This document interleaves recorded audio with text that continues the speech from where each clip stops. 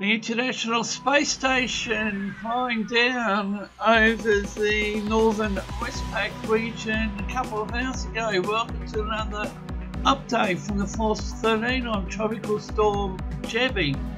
And the system uh, continues to intensify. Here's the latest from the National Weather Service over in Guam. Typhoon watch remains in effect for Agrihan Pagan, Alamagan, and a typhoon watch means destructive winds of 75 miles per hour or more.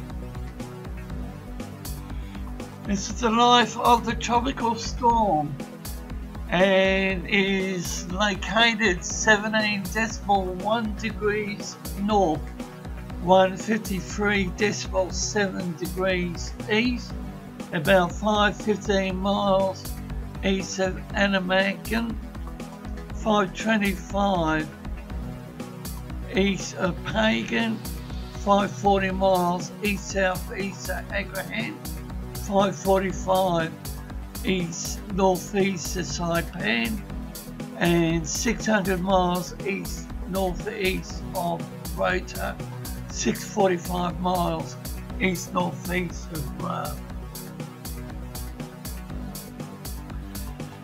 Maximum sustained winds 60 miles per hour, tracking west northwest at 13 miles per hour. Now here's a look at a couple of charts from the NWS.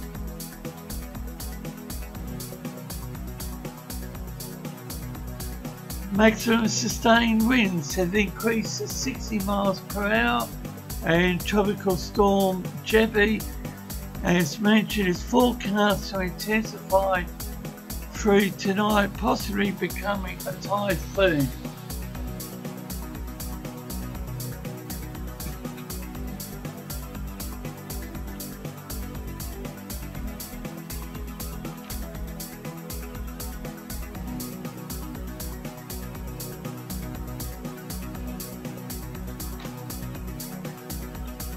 Here's a look at the uh, NOAA floaters. You can definitely see from the rainbow imagery that the cloud tops are cooling. You can notice a fair bit of the uh, right and we'll have a look at the VOAC. Apology, the NOAA floaters are having technical issues again.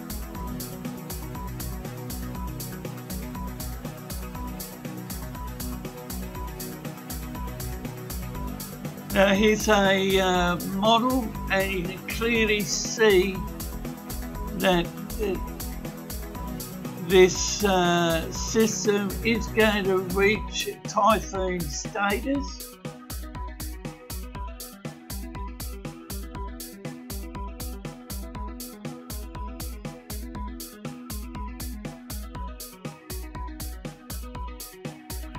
The environment remains conducive with warm sea surface temperatures 29 30 Celsius, low vertical wind shear 10 to 15 knots, and a steady outflow.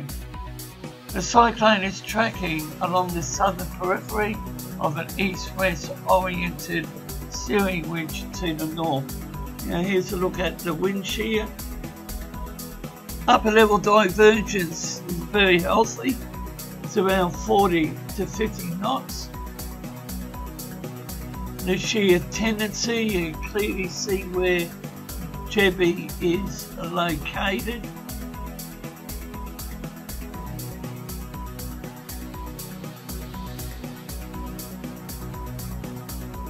Another look at the 850 millibar vorticity, which is one of my uh, favourite items.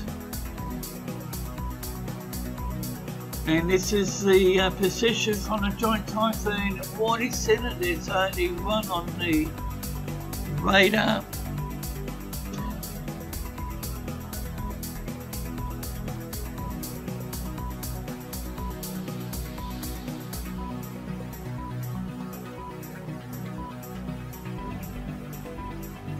Joint Typhoon Warning Center is supportive of a climatological rate of intensification. Now here's a look at a couple of the models and in between these two is the current track chart from the Joint Typhoon Warning Center.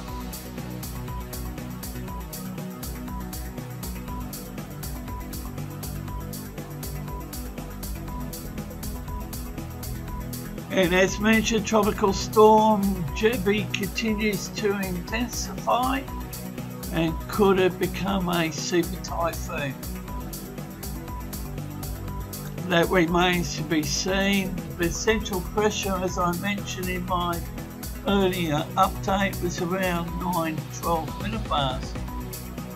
And late cycle intensity guidance and the models are starting to change. A couple of indicating a high range Cat 3 or even a mid range Cat 4.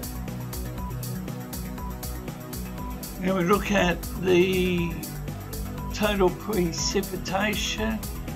The rainfall scale is on the right hand side of the screen and I look for the area in yellow tropical tidbits, one or two tracks.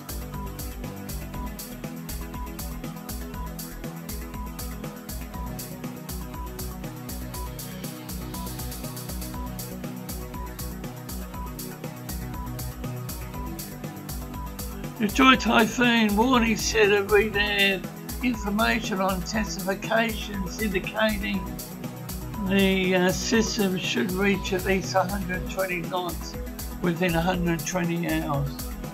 And here's a look at the satellite imagery for the region. You can follow Force 13's outlets, the website force13.com, with you at any time. You can also find our YouTube page if you're not there already, subscribed hopefully. And you can also follow our Facebook page, search Force 13 all in text. Videos are now there as well.